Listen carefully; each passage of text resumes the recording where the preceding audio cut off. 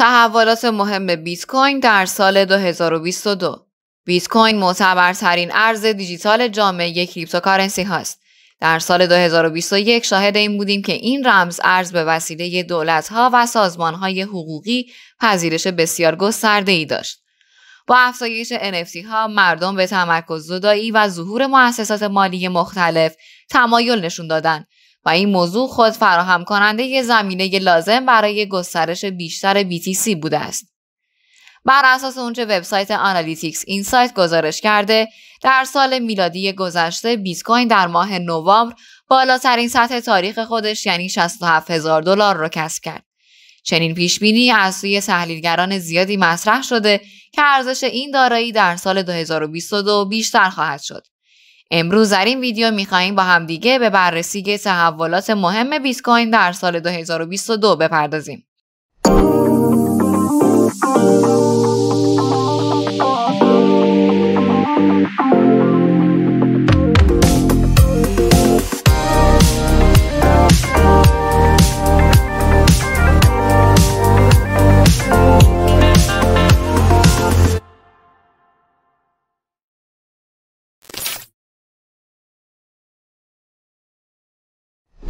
سلام به channel Crypto Agency خوش اومدید. خیلی خوشحالیم که بیننده ویدیوی ما هستید. subscribe channel یادتون نره و واسه اینکه از جدیدترین ویدیوهای ما با خبر بشید رو اون زنگوله کوچیک کلیک کنید. اگه ویدیو رو دوست داشتید بدونید که با لایک کردنتون کلی انرژی واسمون میفرستید. خب خب بریم سراغ ویدیوی امروز. افزایش طرفداران و کاربران BTC تحلیلگران چنین اعتقاد دارند که در سال 2022 افراد بیشتری بیت کوین رو تحت عنوان یک دارایی دیجیتال پذیرفته خواهند کرد و در راستای همین موضوع درک بیشتری در مورد فناوری ارزهای دیجیتال فراهم خواهد شد.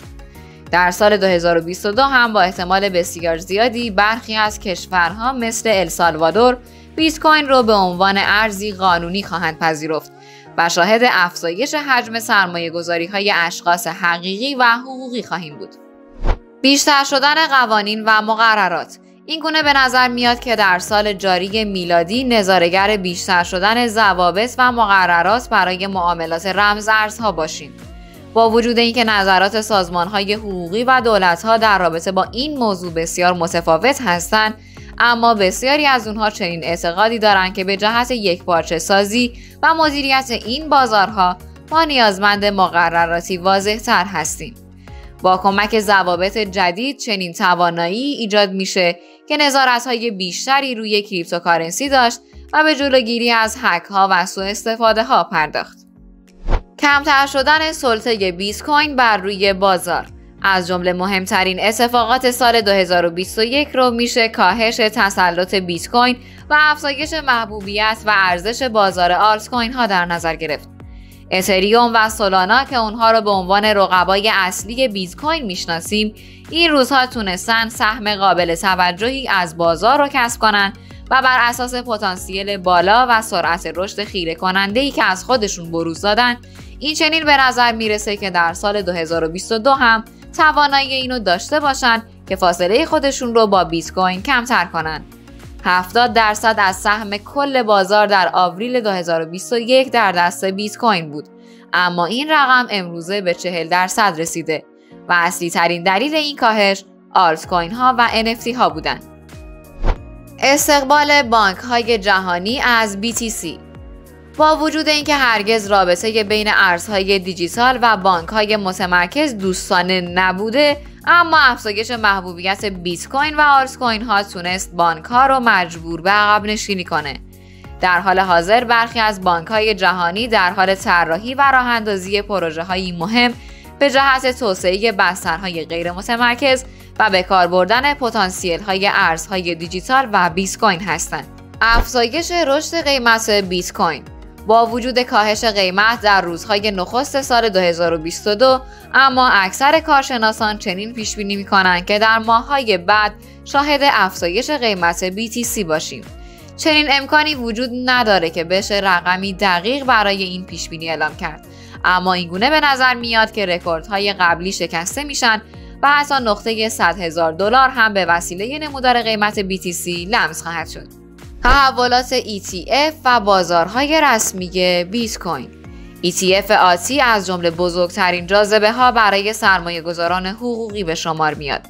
ETF صندوق هایی هستند که به فراهم کردن امکان تبادلات بیت کوین در بازار رسمی سهام می‌پردازند.